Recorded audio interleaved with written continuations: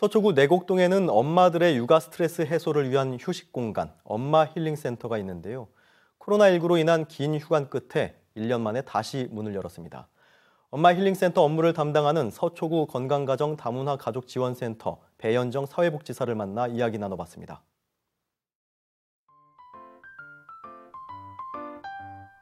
서초 엄마 힐링센터는 엄마의 휴식 공간입니다.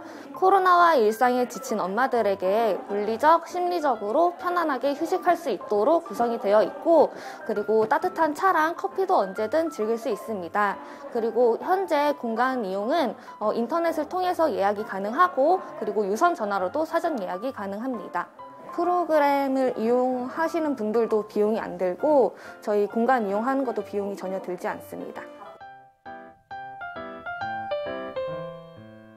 저희가 구청에서 관리를 하고 있어서 방역을 진행을 하고 있고 저희도 자체적으로 발톱이나 뭐 안마의자 시트를 이용하는 것과 같이 위생에 신경 쓰면서 운영을 하고 있습니다.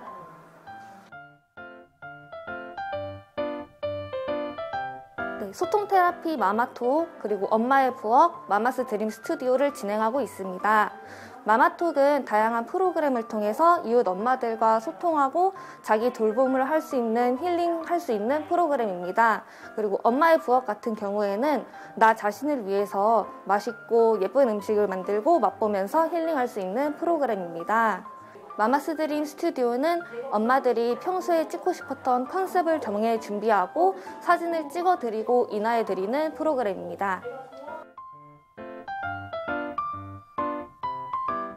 서초 엄마 힐링센터는 오롯이 엄마를 위한 공간입니다. 물론 아이를 데리고 오실 수는 있겠지만 미취학 아동까지는 저희가 그렇게 규정을 하고 있습니다.